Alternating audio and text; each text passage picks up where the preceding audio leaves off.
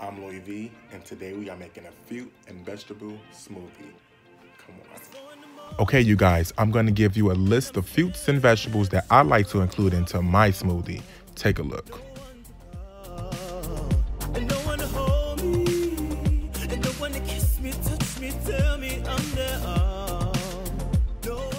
If you look very closely at my fruits and vegetable selections, I have the entire rainbow in this fruit and vegetable smoothie.